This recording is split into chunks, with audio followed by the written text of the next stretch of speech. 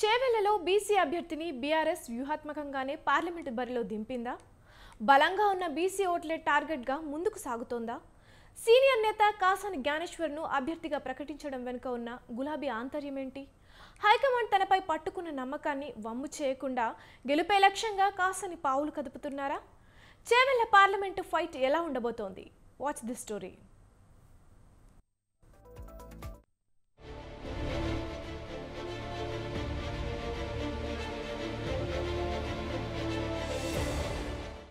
తెలంగాణలో పార్లమెంట్ ఎన్నికల కోలాహలంతో పొలిటికల్ హీట్ మరింత వేడెక్కింది.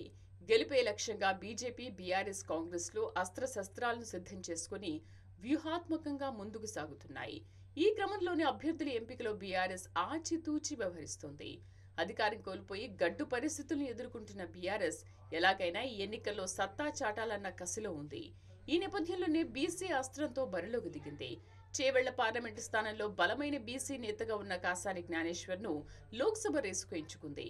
ఉమ్మడి రంగారెడ్డి జిల్లా నుండి రాజకీయ ప్రస్థానాన్ని ప్రారంభించిన కాసాని జిల్లా పరిషత్ చైర్మన్ ఎమ్మెల్సీ టీటీడీపీ రాష్ట్ర అధ్యక్షుడిగా పనిచేసి రాష్ట్ర రాజకీయాల్లో మంచి గుర్తింపు తెచ్చుకున్నారు. అందుకే ప్రత్యర్థులకు గట్టి పోటీ ఇవ్వగలడని భావించిన గులాబీ బాస్ కాసానిని బరిలోకి దించారు.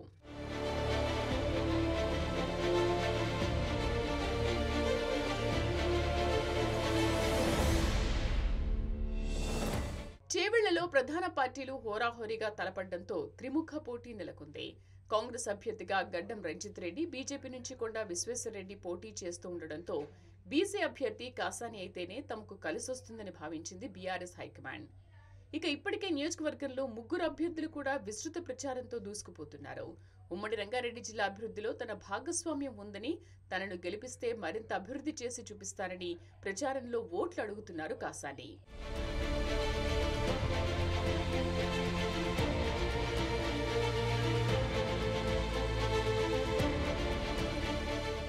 చేవెళ్ళ పార్లమెంట్లో నగర గ్రామీణ ప్రాంతాలున్నాయి.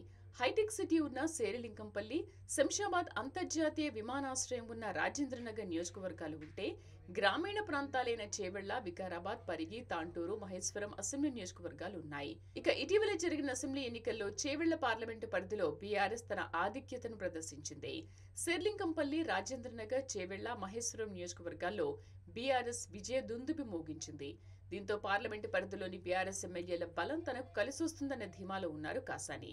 కాగా తాండూరు పరిగి వికారాబాద్ నియోజకవర్గాల్లో మాత్రం కాంగ్రెస్ విక్టరీ కొట్టింది.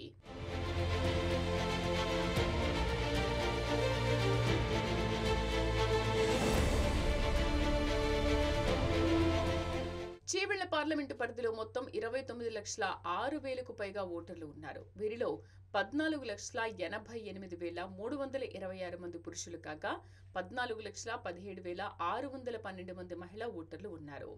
ఈ మొత్తంలో బీసీ ఓటర్లే అధికం.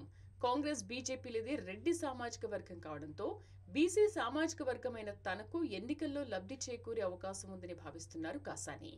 తెలంగాణ రాష్ట్రం ఏర్పడిన తర్వాత జరిగిన రెండు వేల పద్నాలుగు రెండు వేల పంతొమ్మిది లోక్సభ ఎన్నికల్లో చేవెళ్ళలో బీఆర్ఎస్ విజయకీర్తనం ఎగురవేసింది. రెండు వేల పద్నాలుగులో కొండా విశ్వేశ్వరరెడ్డి గెలుపొందగా రెండు వేల పంతొమ్మిది ఎన్నికల్లో గడ్డం రంజిత్ రెడ్డి గెలుపొందారు. ప్రస్తుతం కొండా విశ్వేశ్వరరెడ్డి బీజేపీ తరఫున పోటీ చేస్తుండగా గడ్డం రంజిత్ రెడ్డి కాంగ్రెస్ అభ్యర్థిగా బరిలో నిలిచారు.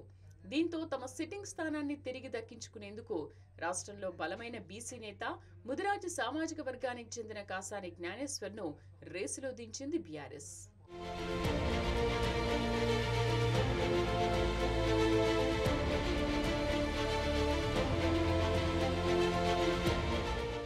కాసాని జ్ఞానేశ్వర్ ఉమ్మడి రంగారెడ్డి జిల్లా పరిషత్ చైర్మన్గా పనిచేశారు. ఆ తర్వాత ఎమ్మెల్సీగా ఎన్నికయ్యారు.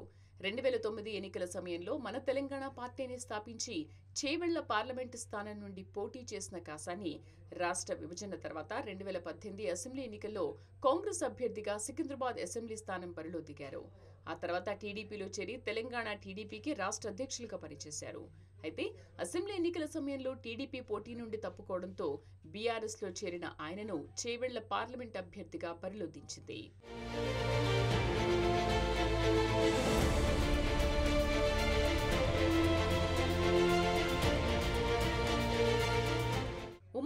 రంగారెడ్డి జిల్లాలో చేసిన అభివృద్ధి కార్యక్రమాలే తనను గెలిపిస్తాయన్న ధీమాలో ఉన్నారు కాసాని. మరి చేబెళ్ళలో బీసీ మంత్రం బీఆర్ఎస్ను గెలిపిస్తుందా? ఈసారి కూడా విజయం సాధించి సిట్టింగ్ స్థానాన్ని కాపాడుకుంటుందా? ఓటర్ల తీర్పు ఎలా ఉండనుంది అనేది తెలియాలంటే ఎన్నికల ఫలితాల వరకు వేచి చూడాల్సిందే.